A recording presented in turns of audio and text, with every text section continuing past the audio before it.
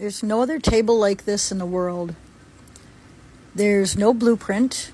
There's no picture.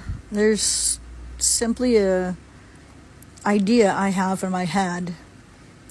And from that idea, I problem solve how to get the picture in my head translated into metal.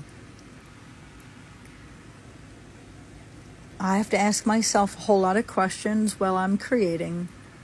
Like, how am I going to get this to look like this? Or how can I get this texture? Or how can I translate the emotion that I'm feeling into the metal I'm working with?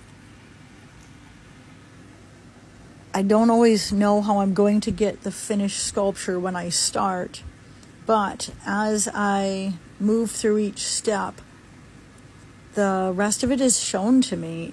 A lot of it is just getting started doing what I know how to do or the basics, and then moving from there into seeing what's next.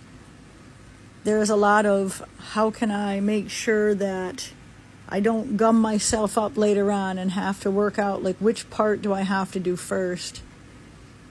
It's not always obvious when I start, and sometimes I have to work backwards on some stuff in order to get the image in my head exactly what I want it to be when I'm done with the sculpture.